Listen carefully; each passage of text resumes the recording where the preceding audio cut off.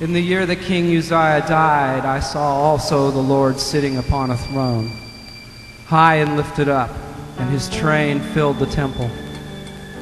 Above it stood the seraphims, each one had six wings. With two he covered his face, and with two he covered his feet, and with two he did fly.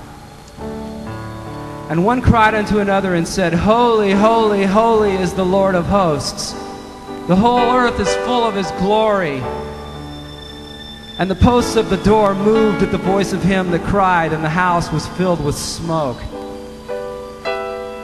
Then said I, Woe is me, for I am undone, because I am a man of unclean lips, and I dwell in the midst of a people of unclean lips. For mine eyes have seen the King, the Lord of hosts. Then flew one of the seraphims unto me, having a live coal in his hand, which he had taken with the tongs from off the altar. And he laid it upon my mouth, and he said, Lo, this hath touched my, thy lips, and thine iniquity is taken away, and thy sin is purged. Also I heard the voice of the Lord saying, Whom shall I send, and who will go for us? Then said I, Here am I, send me.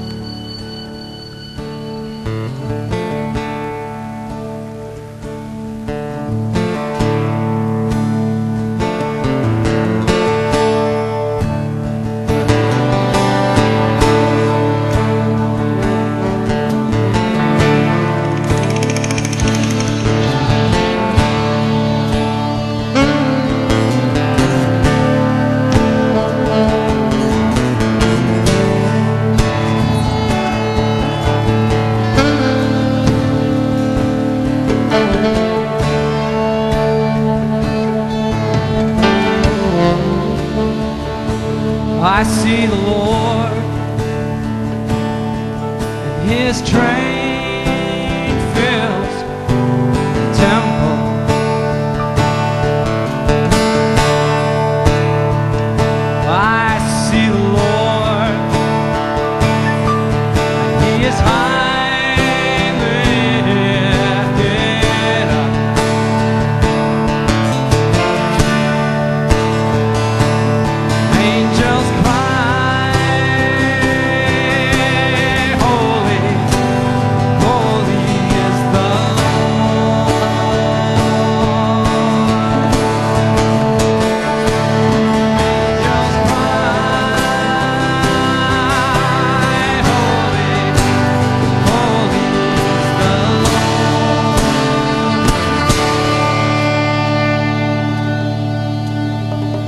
see the Lord.